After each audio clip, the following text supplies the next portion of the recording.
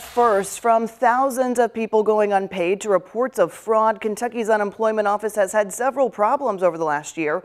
And now a new audit is revealing a new problem staff accessing their own accounts. Dennis Ting explains. It was absolutely unacceptable. At least 10 employees with the Kentucky Office of Unemployment Insurance access their own unemployment accounts.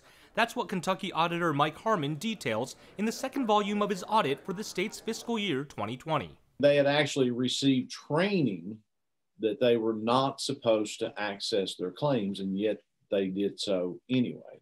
Harmon says there is no direct evidence that any of these employees made changes to their accounts, but says accessing them, in some cases several times, opens up the door to fraudulent behavior. You've got people that can't even get any dollars, and others that can potentially access even more than their, their salary.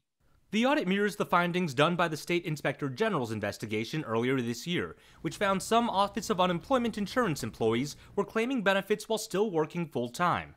Harmon says one of the big issues is with the lack of safeguards in place to prevent fraud.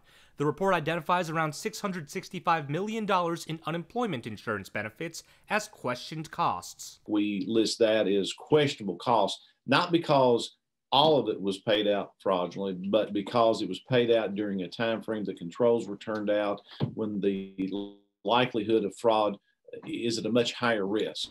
Harmon says the unemployment office also suspended collections as part of the Treasury offset program without getting permission and has still not resumed collections of unemployment compensation debt as of this February.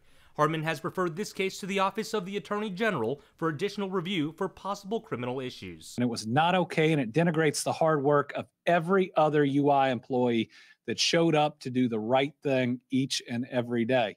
Governor Andy Beshear said Thursday some of the employees have been terminated, but he has not said how many. Dennis Ting, WHAS 11 News.